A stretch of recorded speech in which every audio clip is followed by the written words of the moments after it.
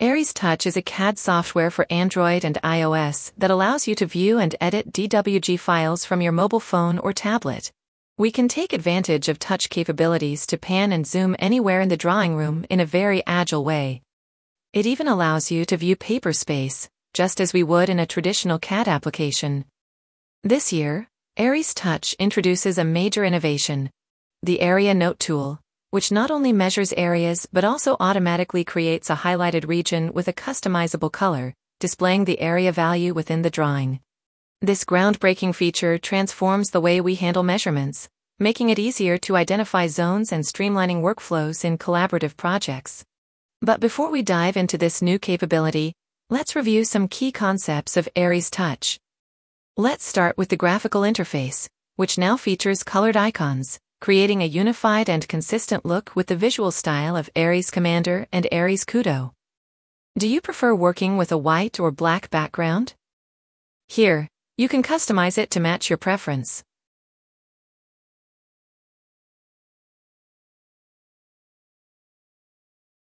Let's switch the background color back to white. As we want to highlight another new feature in ARES Touch, found within this same menu. This is the option that allows you to view a list of recently used commands. By default, the list displays the last seven commands, but you can expand it to show up to 20.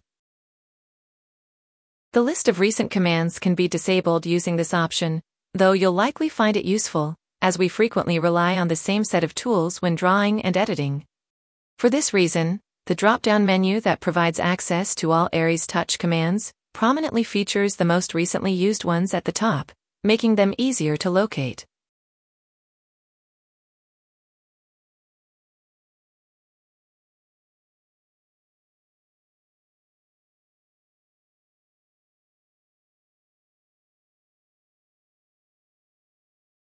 ARES Touch allows you to enable the line weights defined in the drawing, giving your design a more precise and professional look. Pretty cool, right?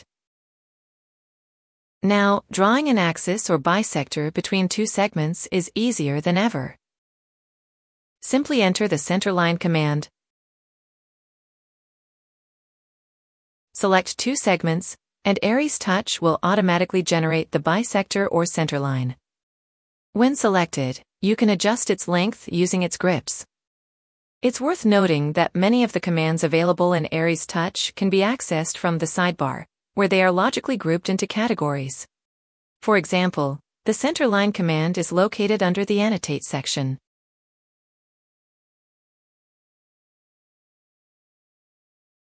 Let's select the newly created centerline. Now, let's open the Properties palette by selecting Properties. Here, we'll find a parameter that allows us to extend the centerline.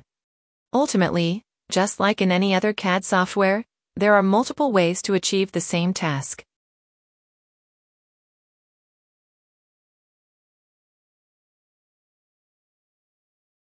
One of the most important new features in this version is the ability to draw areas using the Area Note tool.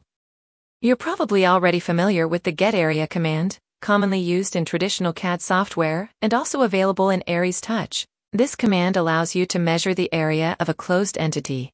Did you take note of the area? Because the value will disappear as soon as we press OK. Area Note, on the other hand, creates a block that includes a colored region along with the area value as an attribute. You can find Area Note in two locations, Comments and Markups or Annotate.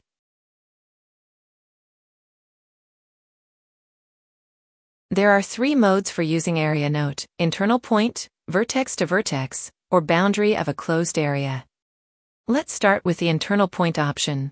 We click inside a closed area, or, just like with the hatch command, we can select multiple areas at once if desired. Next, we confirm the selection, and Area Note opens a dialog box where we can assign a name to the area. We specify the drawing units, in this case, meter, and then choose how we want the area to be displayed, selecting square meter as the unit. Since we selected multiple areas at once, additional options are available. We can choose to automatically assign the same name to all areas, distinguishing them with a number. Alternatively, we can merge them into a single area, which is exactly what we need in this case. From the Settings menu, we can customize the area's color and transparency, as well as select the text style to use. We select the button to accept the changes and return to the previous dialog box. Thus, ARES Note serves two functions simultaneously. It quickly provides the area measurement while also highlighting the zone and displaying the corresponding value. Now, let's try another available option in this room. We select Area Note again, but this time, we choose Vertex to Vertex. By pressing and holding on a point, a magnifier appears, allowing us to fine-tune the selection. In this case, we must select at least three points for it to be considered a closed area.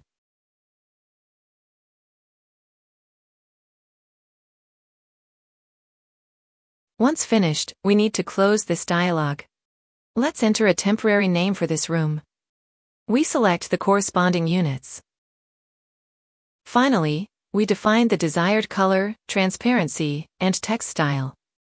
By combining different selection methods, we can create closed areas highlighted with colors, along with the room name and surface area. If we need to change the name or the displayed value, we simply select the area, open the Properties palette, and modify the desired values.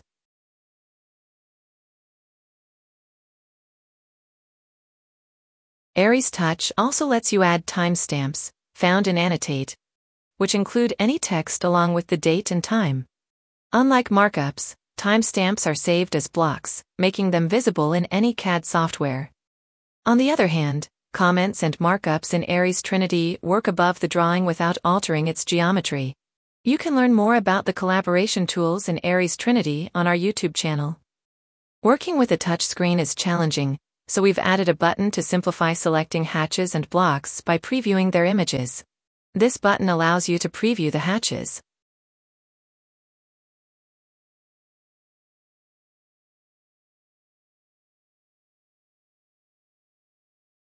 The situation is similar when inserting a block, allowing us to preview those included in the drawing. Alternatively, we can open the Trinity block library, which contains over 400 dynamic blocks. While ARES Touch does not yet recognize their intelligent functions, they can still be used as simple blocks. However, ARES Commander or ARES Kudo and other CAD software like AutoCAD will detect their intelligent parameters. When selecting an object, a series of grips appear, allowing us to perform some quick actions, such as move, rotate, and scale. These same options are available even when selecting multiple entities at once. To save a drawing, in addition to Save As, we can now choose Save to Files, which allows us to select a directory on our device. Additionally, of course, we can assign it a different name if we wish.